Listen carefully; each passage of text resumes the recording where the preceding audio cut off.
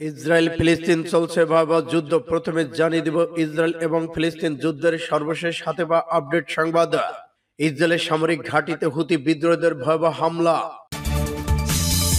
আরও জানিয়ে দিব, ফিলিস্তিনকে সব ধরনের সহায়তা দেওয়ার ঘোষণা উত্তর কোরিয়ার। ইসরায়েলে হামলায় বাস্তুচ্যুত পনেরো লক্ষ মানুষ গাজা শাসনে ইচ্ছা নেই নেতানিয়াহুর। গাজা যুদ্ধে পরিধি সম্প্রসারণ অনিবার্য হয়ে পড়েছে ইরানের পররাষ্ট্রমন্ত্রী। এবার সিরিয়া ইরানি ঘাঁটিগুলোকে আবার যুক্তরাষ্ট্রের ভয়াবহ হামলা। ইরাকের মোসাদের গোপন ঘাঁটিতে আমরা হামলা চালিয়েছি, স্বীকার করল ইরান। চার ঘণ্টা বিরতি কোনো সমাধান নয়, বিশ্লেষকের মন্তব্য। এবং সর্বশেষে জানিয়ে দেব ইসরায়েলকে সহায়তা করার কারণে বিশ্ব মুসলিম এক হয়ে মার্কিন ছেচল্লিশ ঘাটিতে ভয়াবহ হামলা। এতক্ষণ শুনছিলেন সংবাদ শিরোনাম এখন বিস্তারিত। তবে অনুরোধ থাকবে, এই ভিডিওটিতে একটি লাইক দিন এবং কমেন্টস করে জানিয়ে দিন আপনি কোন জেলা থেকে বা কোথা থেকে আমাদের সাথে যুক্ত রয়েছেন। এবং ইসরায়েল ফিলিস্তিন যুদ্ধের সর্বশেষ আপডেট সংবাদ হাতে পেতে চ্যানেলটি সাবস্ক্রাইব করে আমাদের সঙ্গেই থাকুন। ধন্যবাদ। ইসরায়েলের সামরিক ঘাঁটিতে হুতি বিদ্রোহীদের ভয়াবহ হামলা। ইসরায়েলি সামরিক ঘাঁটিতে ব্যালিস্টিক মিসাইল ছুড়ে ইয়েমেনের হুতি বিদ্রোহীরা বৃহস্পতিবার তথ্য নিশ্চিত করেছে সশস্ত্র গোষ্ঠীটি। এক প্রতিবেদনে টাইমস অফ ইসরায়েল এ খবর জানায়।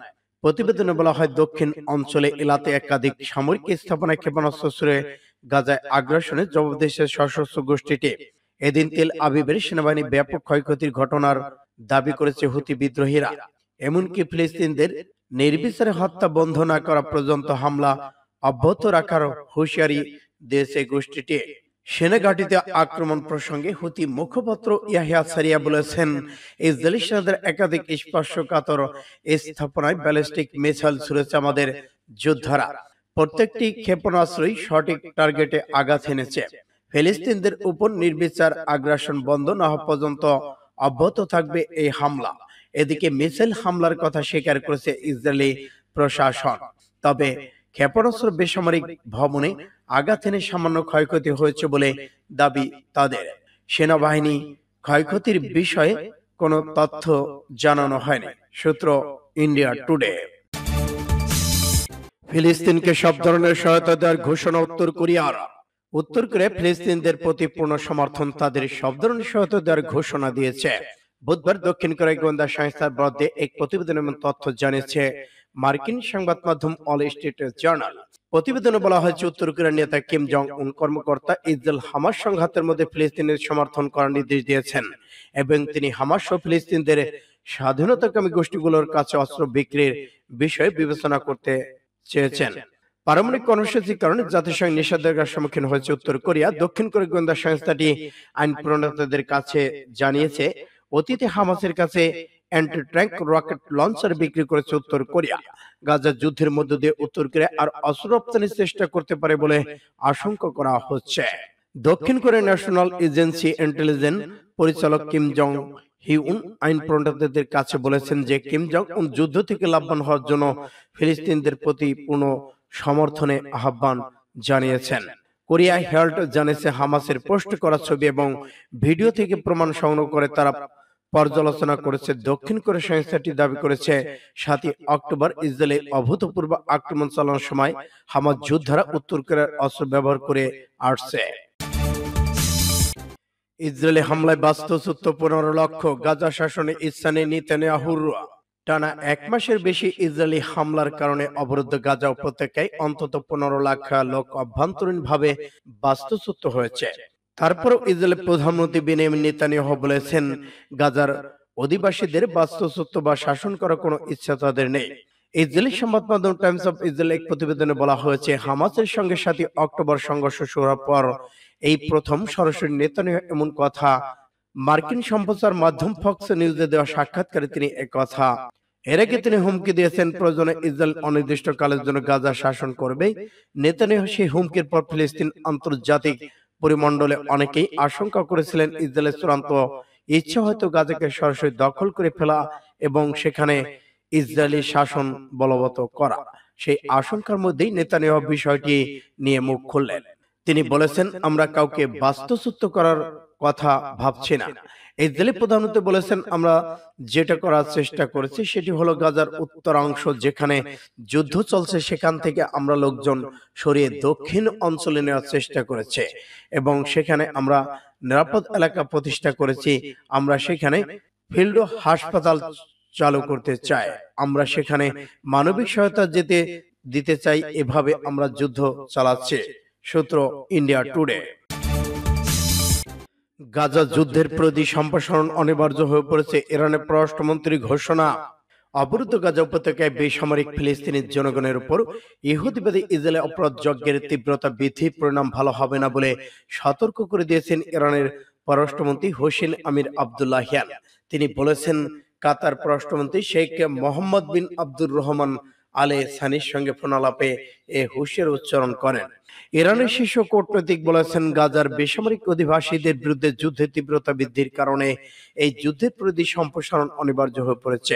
ফোনালাপে ইরান কাতার পররাষ্ট্রমন্ত্রীরা গাজা উপত্যকায় বেসামরিক জনগণের বিরুদ্ধে ইসরায়েলি সেনাদের পাশবিক হামলা তীব্র নিন্দা জানান এবং অবরুদ্ধ এই ভূখণ্ডে মানবিক পরিস্থিতির ব্যাপারে গভীর উদ্বেগ প্রকাশ করেছেন। তারা গাজার যুদ্ধবিরতি প্রতিষ্ঠা করার পাশাপাশি সেখানে মানবিক ত্রাণ, তৎপরতা জোরদার করার উপর নিয়ে আলোচনা করেছেন। ইহুদিবাদী সেনারা গাজার পাশাপাশি দক্ষিণ লেবানন হামলা চালিয়ে যাচ্ছে। সেখানে হেজবুল্লাহ যোদ্ধাদের সঙ্গে ইসরায়েলি বাহিনী রক্তাক্ত যুদ্ধ জড়িয়ে পড়েছে। অন্যদিকে ইয়ামেন সামরিক বাহিনী এ পর্যন্ত ইসরায়েলের দক্ষিণ অঞ্চলকে লক্ষ্য করে ক্ষেপণাস্ত্র ড্রোন হামলা চালাচ্ছে। সেই সাথে যুদ্ধে যোগ দিয়েছে হুতি বিদ্রোহীরা। গতকাল ইসরায়েলের দক্ষিণ অঞ্চলে ইয়াতলাত শহরে ইয়েমেন থেকে নিক্ষিপ্ত একটি আত্মঘাতী ড্রোন আঘাত এনেছে। এর আগের দিন বুধবার ইয়েমেনের গুলিতে গাজা যুদ্ধের প্রধান পৃষ্ঠপোষক আমেরিকা এবং একটি অত্যাধুনিক ড্রোন লোহিত সাগর উপকূলে ভূপাতিত করেছে, সূত্র পাস টুডে। এবার সিরিয়ার ইরানি ঘাঁটিতে আবারও যুক্তরাষ্ট্রের ভয়াবহ বিমান হামলা।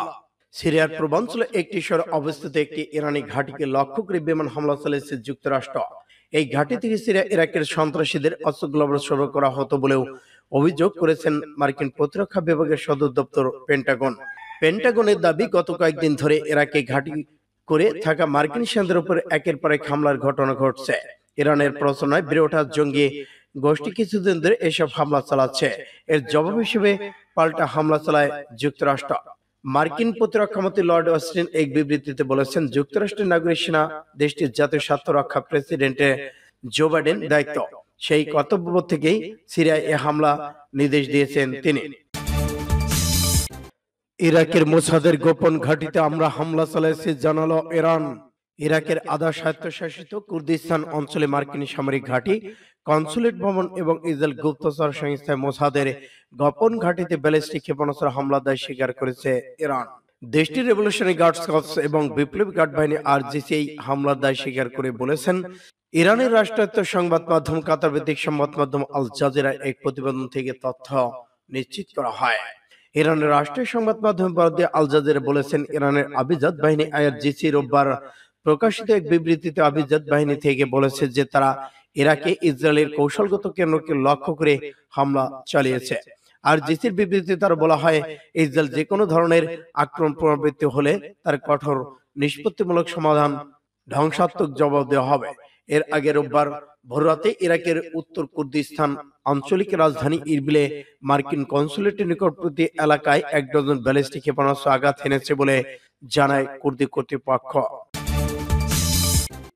ইসরায়েল ফিলিস্তিন চলছে বাবা যুদ্ধ। চার ঘণ্টা বিরতি কোনো সমাধান নয়, বিশ্লেষকদের মন্তব্য। এবার ইসরায়েল এবং ফিলিস্তিন চলছে রক্তক্ষয়ী ভয়াবহ সংঘর্ষ। হোয়াইট হাউস ঘোষণা দিয়েছে ইসরায়েল গাজায় প্রতিদিন চার ঘণ্টার জন্য লড়াই স্থগিত করতে সম্মত হয়েছেন। কিন্তু বিশ্লেষকরা বলছে চার ঘণ্টার বিরতির কোনো সমাধান নয়, প্রয়োজন স্থায়ী যুদ্ধ বিরতি রাটোগার্স ইউনিভার্সিটির মধ্যপ্রাচ্যের বিশেষ আব্দেল হামিদ সিয়াম আল জাজিরাকে বলেছেন, বেসামরিক নাগরিকদের দক্ষিণ অঞ্চল থেকে সরিয়ে নেওয়ায়। এদিকে রাটোগাস ইউনিভার্সিটি মধ্যপ্রাচ্য বিশেষ আব্দুল হামিদ সিয়াম আল জাজিরাকে বলেছেন, বেসামরিক নাগরিক দক্ষিণ অঞ্চল থেকে পালিয়ে যাওয়ার অনুমতি দিতে ইসরায়েল চার ঘণ্টা যুদ্ধবিরতি সম্মত হয়েছে বলে হোয়াইট হাউস ঘোষণা দিয়েছে।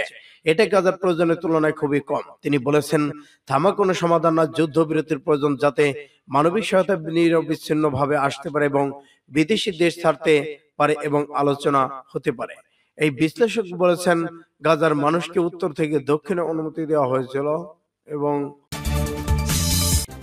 এবার ইসরায়েলে নয় বিশ্বব্যাপী ভয়াবহ মার্কিন ঘাঁটিতে হামলা। ইসরায়েল নয় বিশ্বব্যাপী মার্কিন ঘাঁটিতে হামলা শুরু হয়েছে। মার্কিন যুক্তরাষ্ট্রের প্রতিরক্ষা দপ্তর পেন্টাগন জানিয়েছে গত তিন সপ্তাহে যুক্তরাষ্ট্র তাদের জোট বাহিনী ছেচল্লিশ বার হামলার মুখোমুখি হয়েছে। আর শুক্রবার বিবিসি লাইভ প্রতিবেদনের তথ্য জানানো হয়েছে।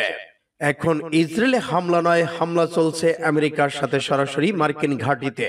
যুক্তরাষ্ট্রের স্থানীয় সময় আজ সন্ধ্যা পেন্টাগন মধ্যপ্রাচ্য মার্কিন সেনাদের উপর হামলা সর্বশেষ তথ্য জানিয়েছে। পেন্টাগন বলছে সতেরো অক্টোবর থেকে মার্কিন জেট বাহিনীর উপর অন্তত ছেচল্লিশ বার হামলা চালানো হয়েছে। বিশ্বব্যাপী দশটি মার্কিন ঘাঁটিকে ঘুরিয়ে দিয়েছে বিশ্ব মুসলিম বাহিনী। এর মধ্যে ইরাকে চব্বিশ বার এবং সিরিয়ায় বাইশ বার এবং ড্রোন হামলা চালিয়েছে ইরান সমর্থক যোদ্ধারা। এসব হামলায় অন্তত ছেচল্লিশ জন মার্কিন সেনা নিহত হয়েছে। গত সাতই অক্টোবর গাজা ইসরায়েলের মুখোমুখি হাজার হাজার রকেট ছড়ে হামাস। সেই সঙ্গে ইসরায়েল সীমান্ত ভেদ করে দেশটি তাণ্ডব চালায় হামাসের যোদ্ধারা। এতে ইসরায়েল নিহত হয়েছে এক হাজার চারশো, আহত তিন হাজারের বেশি। এরপরে পাল্টা আক্রমণ শুরু করে ইসরায়েল বাহিনী। ইসরায়েলের হামলায় এখন পর্যন্ত গাজা নিহতের সংখ্যা দশ হাজার ছাড়িয়ে। যুদ্ধবিরতির কথা, জাতিসংঘ বলল, জাতিসংঘের কথা অমান্য করে ইসরায়েল যুদ্ধ চলে যাওয়াতে বিশ্বব্যাপী সোচ্চার হয়েছে মুসলিম বিশ্ব। মুসলিম বিশ্ব একত্রিত হয়ে মার্কিন ঘাটিতে হামলা চালানো হচ্ছে। ইসরায়েলের সহায়তায় মধ্য মধ্যপ্রাচ্যে এরপর মার্কিন সেনাদের উপর হামলা চালানো হচ্ছে। সূত্র পাঁচ টুডে।